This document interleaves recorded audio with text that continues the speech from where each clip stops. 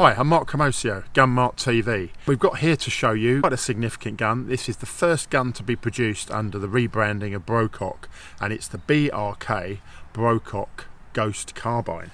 You do get this case all part of the um, deal and uh, it's quite a nice, obviously very compact recessed case. You've got all the padding there and then it's all cut out for, for the rifle as well. Now, first of all, point out obviously this is an additional um, optional extra. We'll, we'll come to that. So, the Brocock Ghost they are, they are doing various versions. So this is the carbine. It comes with a the smaller 300cc bottle, and it obviously makes the, it's in keeping making this really really compact.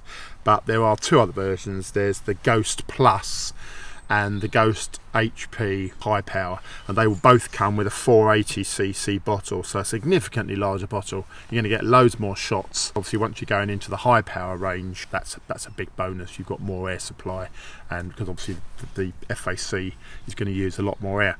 Anyway back to this. It, it's extremely compact but the first thing I'm going to say is although it's lovely and compact as you, we've said before with similar rifles your hand is so near the end of that barrel it's unacceptably unsafe and you just can't do it. So I've got to say that's threaded ready to take a silencer.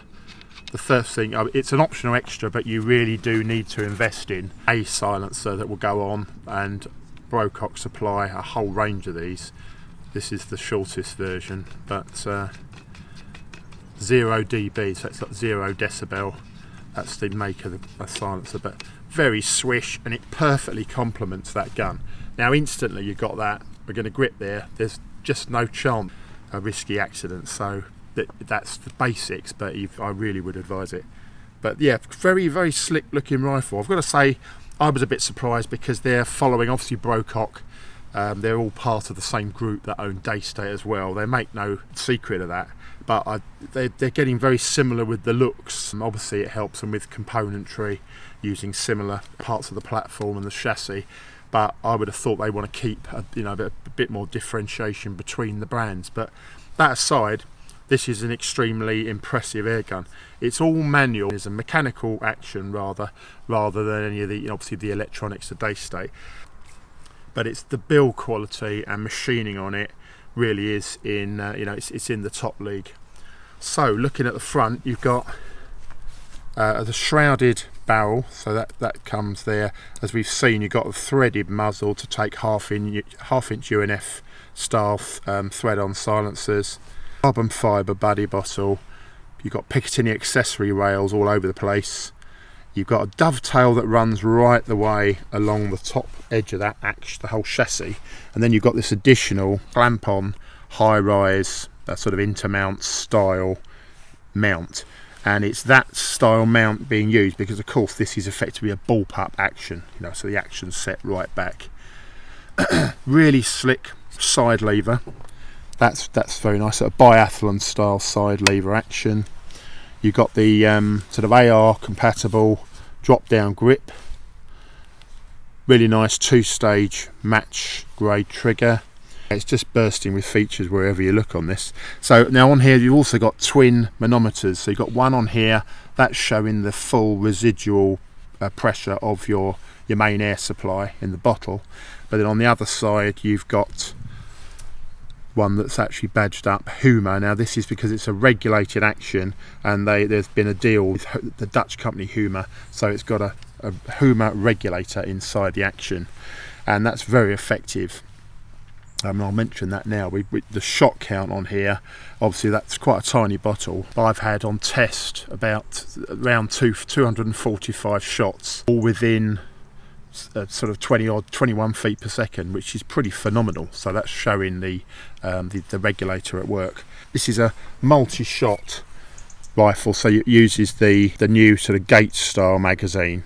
So you've lift that up, you, you do pre-tension that and fill it. We've already redone that, uh, pre-done that. And the clever part of this is that the magazine can actually fit from both sides. So you'd have to um, have a buy a razor kit for the cheap piece but then you could actually locate the magazine in the other side as well and the key thing is you're going to have two magazines snapped into the breech at once and then they join with a magnet and then you can just snap the other one slightly across and you're into the second magazine. So it's, it's a very neat system and it obviously ups your potential uh, shot count.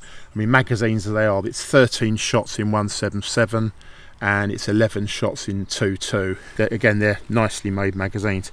Now other features on this gun there's a lot obviously that you get for the money. I mean, these aren't cheap, but they're, as I say, they're building a lot into this. You've got a very fine power adjuster at the back here. It's actually effectively 20 stage and it on test obviously it's dependent on pellet and power setting etc but this is I found the minimum was around about six and a half foot pounds and obviously once you lower it to that your shot count's going to massively increase so there's a lot of versatility which that's building in so if you just want to practice or have a you know an extended informal session and you don't need full power you know, I've, I've found it with sort of competition shooting over the years, certain pellets might just like a little bit lower velocity. And here you can tweak that all at the twist of a button. Very user friendly and you can, yeah, you can play around and experiment. So it's got a lot of uses. And there is some adjustment on the cheek piece. You can see there, it's a bit basic on that. You just adjust the, the Allen keys and then slide that along the um, dovetail as I say there's a razor kit to enable that magazine facility. Adjustment of the butt again is done there. Slacken that off and it, it um, adjusts it, that that butt plate will move up and down. Um, so there is some adjustment. It's an impressive bit of kit and it's the it's you can clearly see the direction that um, Brocock are going with this. You, the other thing I haven't mentioned is PRS, Precision Rifle Systems.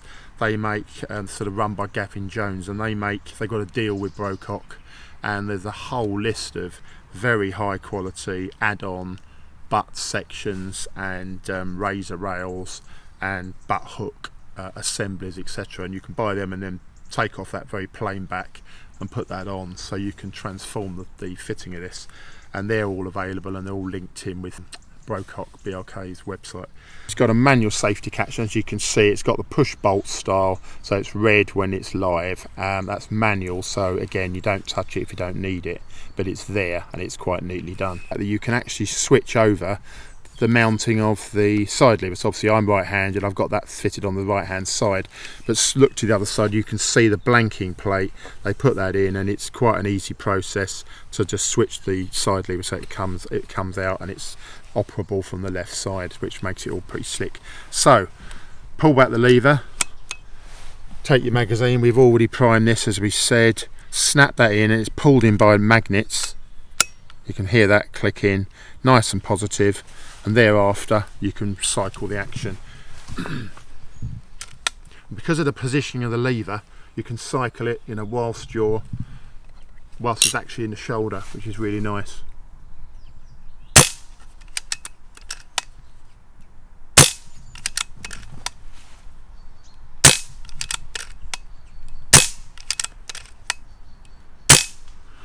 As you can see there, it's incredibly smooth. It's as fast as you want it to be.